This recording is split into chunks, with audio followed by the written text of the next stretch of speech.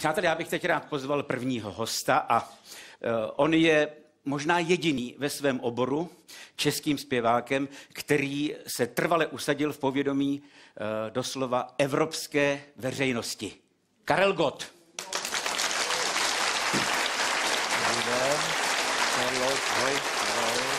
Tady je mám.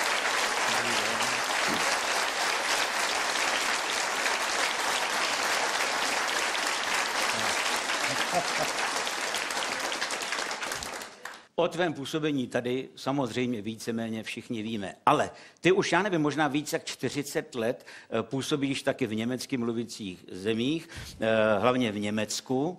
Dá se říct, že vlastně vedeš tak trochu dvojí život tady a tam? Já bych začal asi tak 40 let, dneska už to můžu říct, je tomu, nedávno jsem to v Německu oslavil, 40 let na scéně.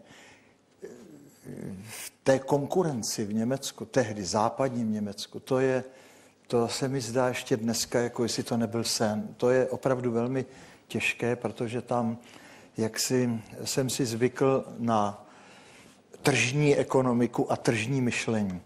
Prostě přijdou lidi, nepřijdou. Co byl podle tebe ten osudový okamžik? Jo, nemyslím rok osudový, nebo okamžik. Ano. Co se stalo, že někdo přišel z Německa, ano. zrovna k nám, a řekl, najdeme si tady nějakého zpěváka a zrovna potkali tebe. Ano. Kde? Ale už to, jak se ptáš, že přišel někdo z Německa no. a hledal, to už je právě z pohledu dnešního velmi zajímavé. To byla ta doba, kdy tak tály ty politické ledy a to klima se zlepšovalo. My jsme poslouchali muziku, co se hraje venku na západě a oni tak pokukovali k nám, co zase děláme my tady a tomu já jsem říkal, že to je taková přitažlivost nebo kouzlo neznámého. Mm-hmm. Takže někdo přijel, nějaký agent? Přijel, tady? ano, ředitel, agent? přímo šéf, obchodní eh, šéf eh, Polidoru, hamburské firmy. A měl typ, že tady je nějaký god, anebo jenom ne, tak jako... Ne, přijel na Bratislavskou liru a poslouchal a zajímalo ho, co tady děláme. Když jsem dospíval píseň Pošli to dál, tak jsem tak řekl, tohoto zpěváka já chci a tu píseň, aby zaspíval německy u nás. Ta smlouva byla jenom na single, na jednu píseň. A on po té písni rovnou odešel, řekl, nic víc mě nezajímá. Jenom ten jeden jenom... single. Vyzkoušíme si ho u nás. Čili pošli to dál, on ano, rozhodl, že to... a rozhodl, že se přeci jenom zamyslíme nad B stranou, na druhou stranu single. Jo. Prostě ten šéf říkal, víš, teď tady běží takový film, to je velký světový hit, ale je tam nádherná melodie. Jo. Jmenuje se ten film Doktor Živágo a ta melodie, to je taková, víš, takový ruský, široký téma a to by ti sedělo. Slovanský. Hmm. On neřekl ruský, ale jo, slovanský. široký slovanský. A to je to právě, co bylo pro ně asi zajímavé všichni taky potom říkali, on zpívá jinak, než ty naši zpěváci. Ono tam je trošku ten, proto jsem dostal takový ze Zlaté Prahy, takový ano. jako přívlastek Zlatý hlas, hlas z Prahy, nebo Goldene Stimme aus Prague. A to byla taková, takový přívlastek, nebo eh, Sinatra des Osten, Sinatra východu taky. Eh, moje kariéra nebo start v zahraničí dokazuje, že opravdu talent a píle není všechno. Tam je spousty náhod, času, kdy se to událo. No a ty to si znam... potom, Karle, určitě hned se začal učit německy, nebo už si v té době uměl? Špatně jsem uměl. Učil jsem se tak, že jsem Soukromý říkal, učitele si si Panu Spurnýmu, to byl manažer tenkrát v té době, mluvte na mě jenom německy, jo, když jsme jeli v autě. Pořád na mě mluvte ne, Jenom německy. takhle si se učil ano, ten jazyk? Jako? Já jsem nikdy neotevřel knihu gramatiky. Fakt ne? Ne. Jak jsem prostě začal s gramatikou, tak jsem usnul. Takže já...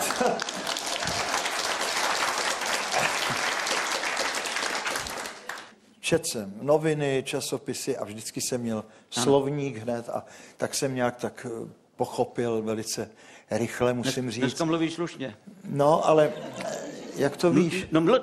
Já jsem tě slyšel jednou ano. telefonovat německy. Jo, aha. Akorát ti musím říct... Eh, Že tam byl akcent český. to já nepoznám, jo.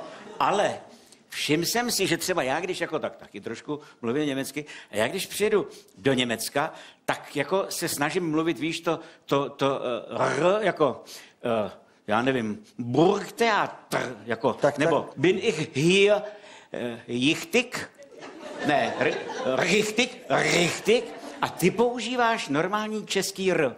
Neberou oni to tam e, trošičku jako, není to pro ně, pro ty Němce frustrující.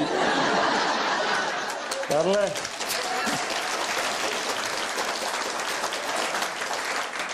jestli ti můžu něco poradit, no. tak takhle tam nemluv. jo?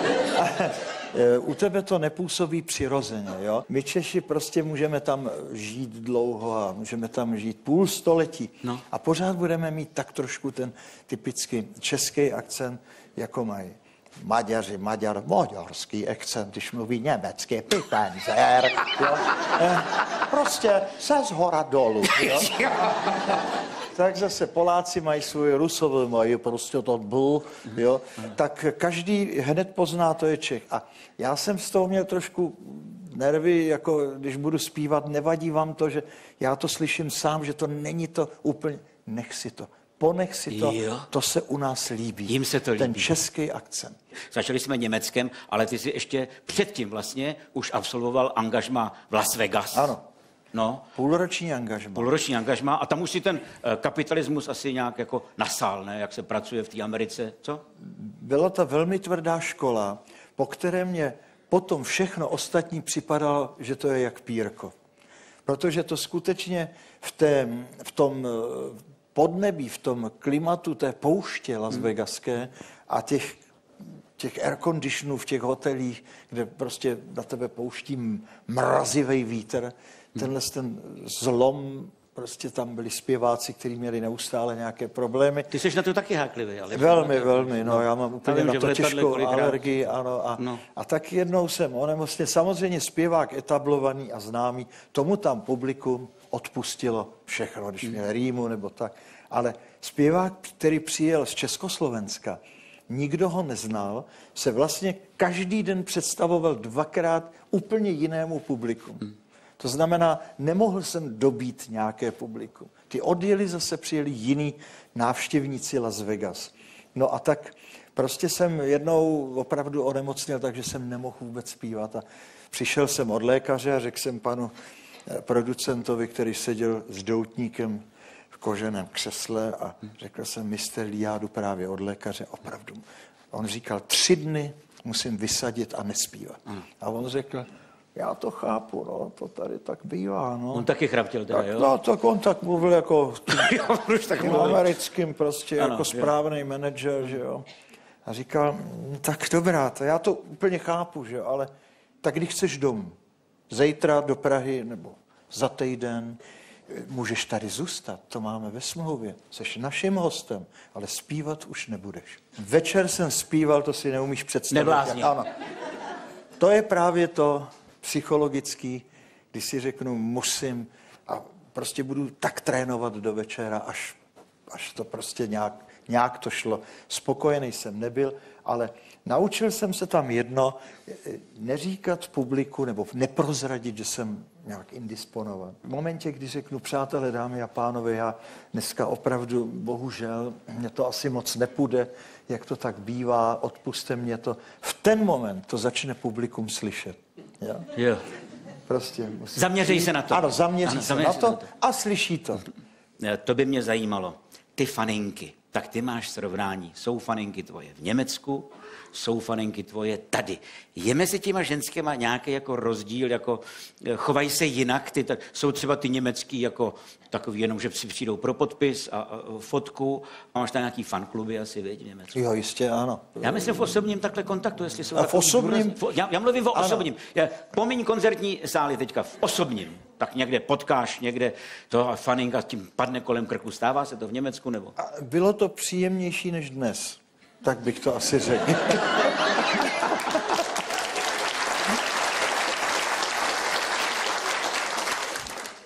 Přijde faninka a řekne, je, uh, Hergot,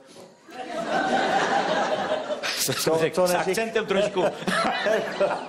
Hergot, Oni, Karl. oni Hergot eh, neříkají Nebo- rádi, ano. Oni si dodnes myslí, že mám nějaké umělecké jméno, že to není moje jméno. Že to není tvoje pravý jméno. Dokonce první manažer ještě úplně na samém začátku přijel Hmm. jeden do Prahy a díval se na moje vystoupení v Lucerně a řekl, měl bych zájem o vás, ale musíte si změnit jméno v Německu. Já jsem řekl, no tak to je moje jméno, tak se jmenuju. Ano. Ale ne, to, to není možné, že to prostě u nás je Gottlieb, Gottschalk, může být a všechno Gottwald, ale, ale, ale prostě Gott, to, víte, tam je mnoho velmi silně věřících a to, to vám To nikdo neuvěří. Ale oni skutečně tomu nevěří dodnes. Vzpomínáš si na nějakou třeba faninku třeba v tom Německu, která byla opravdu i přízrak? Já vím, že tady si pár takových měl, co tě sledovali a, a vartovali u tvýho domu, až půjdeš eh, večer domů, až zase ráno půjdeš pryč. A, že jo, eh, To máš dobrou paměť. No Když vartovali u domu, to už je dávno. No, ale bylo to, no bylo, ano, bylo. bylo to, to pamatuju, že přízrak prostě, že tam někde no, skovaná, že jo. Ano, ano. Nevím, jako, mluvil jsi s ní někdy? No Ne- mluvil samozřejmě. Mluvil jsi s ní? Řekl jděte domů, paní. Ne, to jsem nikdy neřekl. jsi neřekl. Ne. Až když to začalo být takový už... Protivný. Jako pro, no, No. chvílema protivný, kdy zvonila po půlnoci jedna a říkala, eh, kterou jsem samozřejmě znal, že v Německu chodí na koncerty, ta věděla všechno, kde jsem u nás, kde jsou vystoupení. A zazvonila v Ona půlnoci. eh, měla takové jakoby trošku rozdvojení mm, eh, osobnosti, si myslím, Aha. protože ona mi řekla, že mluvila s Ježíšem Kristem a že my dva, jenom my dva k sobě patříme. S takovýma lidma se musí mluvit stejným způsobem. Ano. Jo? To je zajímavé. Já jsem s ním před chvílí mluvil a on mě varoval.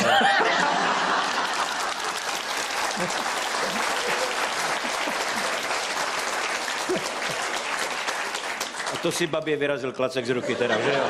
Bylo ticho, odešla. Ticho, odešla, ano, ano. ano. Na to nemůže nic říct, protože já mám taky právo mít na něj drát. Ano, Pohovořit ano, s ním. Ano, pohovořit. No.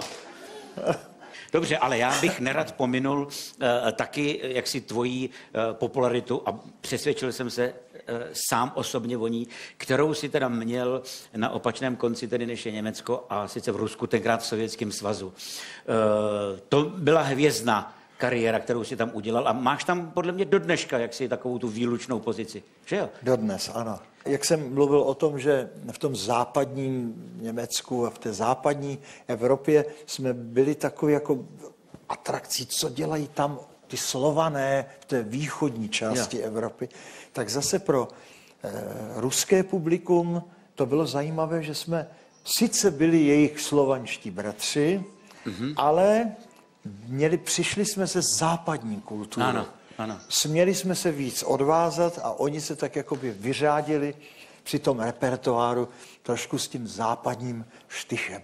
A tak se stávalo například po 68. roce, nebudu vyprávět, všichni víme, že tam jaksi to přátelství a to bratrství eh, mělo trhliny a Ano. bylo velmi, velmi na tom špatně a publikum mě to dávalo najevo obrovskou sympatii, až demonstrativní. A když prostě, já nevím, jsme se trošku ke konci toho koncertu, jsme to rozjeli a gradovali, tak ty kluci stáli na židlích a sundali si saka, prostě točili sakama odvázaný. Je. Já jsem přišel dozadu a ty, ty kon, konferenciéři a konferenciérka, která uváděla ten koncert, tak to bylo jasný, že to byla jasná komisařka, jo. Ta prostě říká, ještě jednu dáte?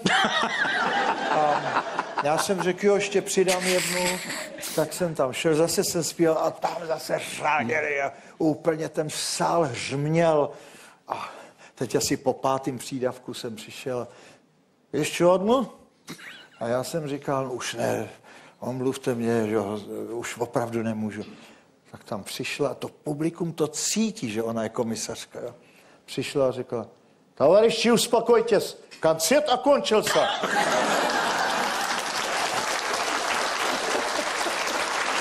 Ano. Ale to bylo v tu ránu prostě ticho. Kluci oblíkli rozešli saka, se- ano, oblíkli a saka. šli domů. Aby jsme, eh, Karle, nějak taky, jak si se podívali trošičku do budoucna, tak jako eh, řekni mě i divákům, kdy tak v nejbližší době máš opět namířeno za hranice sklízet ty vavříny? No tak až se tady rozloučíme, tak já jdu do Německa na noc, až do Hamburku. Ještě Dnes- dneska ano, na ano, noc? Ano, na noc, ano. No, Karel Gott,